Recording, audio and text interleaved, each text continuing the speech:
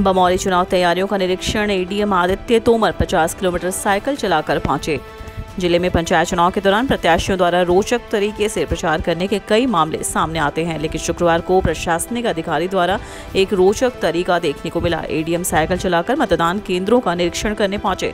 उन्होंने 50 किलोमीटर तक साइकिल चलाई। दो घंटे 10 मिनट में उन्होंने यह दूरी तय की। शनिवार को ज़िले की दो जनपदों में मतदान होना है। इसके लिए प्रशासन ने अपनी तैयारियाँ लगभग पूरी कर ली हैं।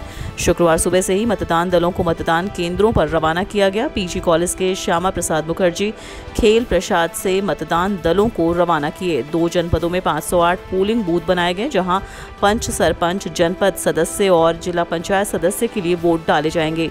मतदान दलों को बमौली जनपद रवाना किया गया। वहाँ एडीएम आदित्य सिंह तोमर को पोलिंग बूथ और अन्य व्यवस्थाओं का निरीक्षण करना था। इसके लिए वह अपनी कार से ना जाकर साइकिल से पहुँचे। गुना से बमौली तक उन्होंने 50 किलोमीटर साइकिल चलाई। मतदान दल पहुँचते, उससे पहले वह साइकिल से ही बमौली पहुँच गए। वहाँ जाकर उन्होंने व्यवस्थाओं का जायजा लिया